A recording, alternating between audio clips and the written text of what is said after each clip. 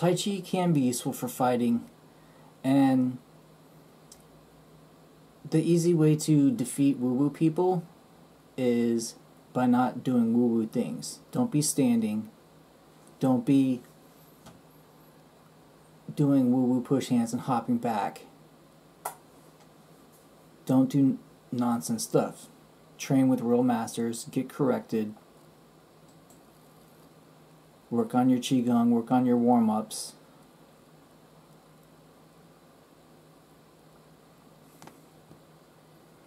Work on your various forms, either solo empty hand, work on your weapon forms.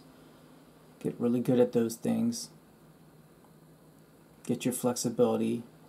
Woo woo people are easily defeated because they don't have cardio, they're working standing.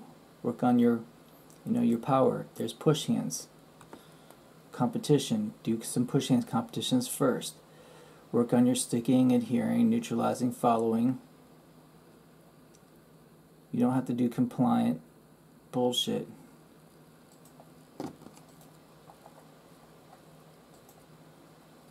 There's another picture of me in a push hands.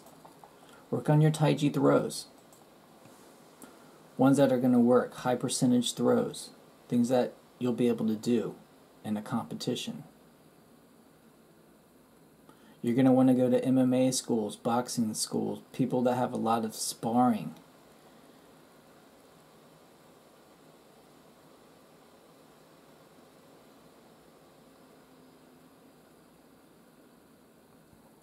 You know, work on your techniques. Spar with people.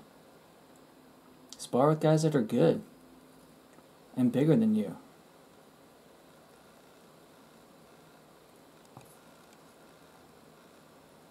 It's okay to get hit and take hits. Hit and move. Stick and move. Don't do no, that compliant bullshit. This is not compliant.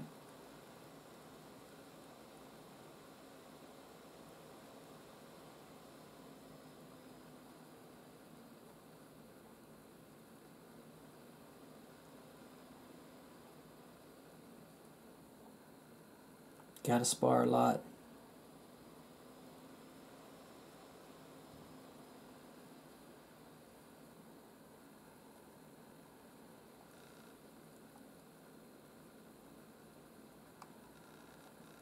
Get your sparring in. And then go in the ring. Have at it. Get in the ring. Get on the lei tai. Throw people around with everything you trained on.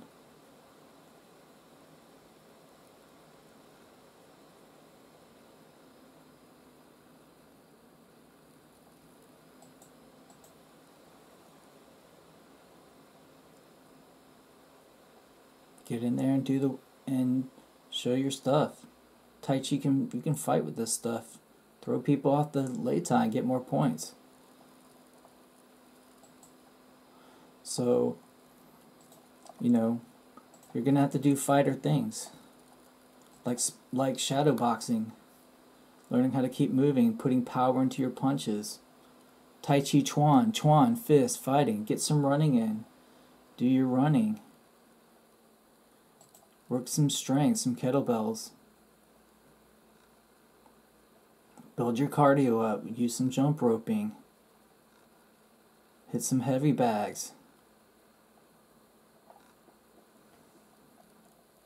You know, do head movement training.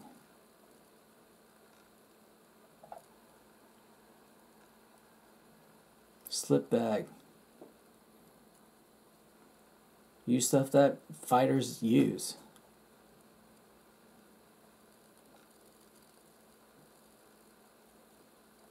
Speed bag. Spar with people. Use pads.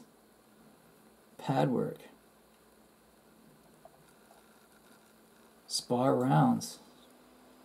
Spar with more people, different people. MMA schools, work at work at other places, do grappling. This guy's a college wrestler. Keep working push hands, go soft, go hard, practice different things, moving step.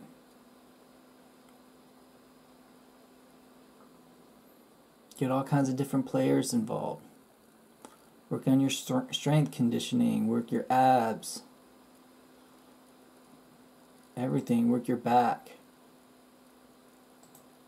And then do your Qigong at the end. Do your Tai Chi, Qigong.